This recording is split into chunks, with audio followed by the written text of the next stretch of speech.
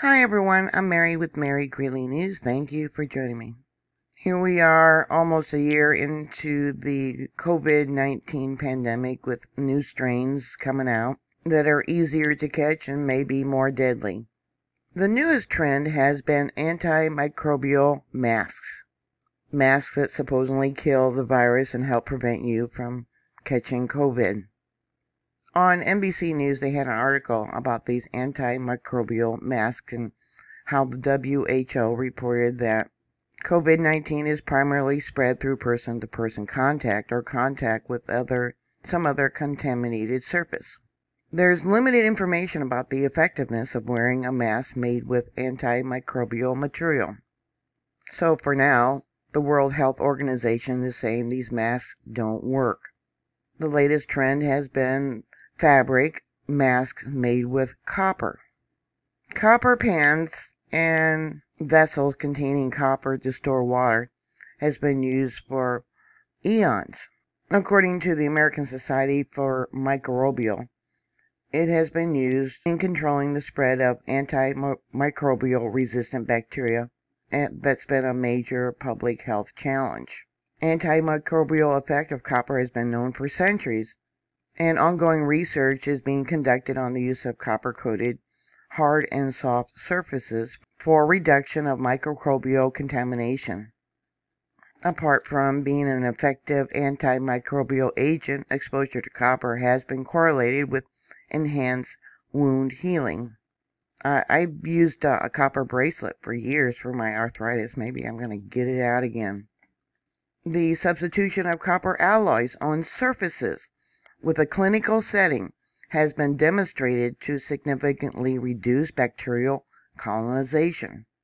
And more recently, copper infused fabrics have been studied. According to an article on Global Newswire, according to the report Allied Market Research, the global antimicrobial additive market garnered $5.1 billion in 2019 and is projected to generate $7.5 billion by 2027. It might actually jump higher than that. Another article on Newsday, it says the joint effort of research from India and Australia has produced an antiviral, antimicrobial mask that claims to kill the COVID virus on contact. What they did was develop a copper threading which lines the three layers of the mask. Research suggests that while the virus can live for days on surfaces such as plastic, it is quickly deactivated on copper. Such claims have led to a surge in interest in materials such as bed sheets and items of clothing lined with the metal. The Washington Post had an article saying that a 2010 study found that N95 resp- respirators impregnated with copper effectively destroyed the virus on surface of the mask on the mask without compromising infiltration ability.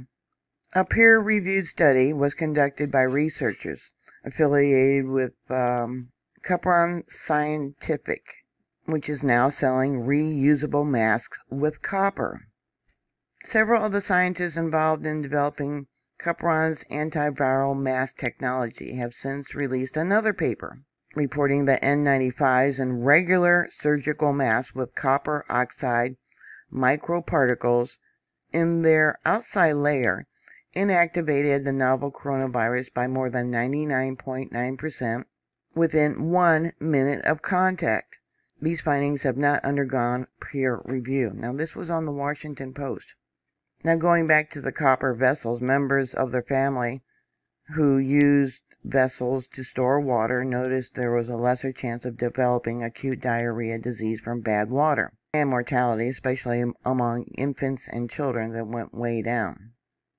I knew that Faraday cages with copper wiring was a good deterrent from electronic magnetic pulses, EMPs, but I did not know about uh, killing bacteria. I knew about or I believed in the copper bracelets for arthritis, but not for bacterial. Now, you'll remember how the WHO was saying that cloth face masks would work to prevent getting the coronavirus along with um, hand washing, etc.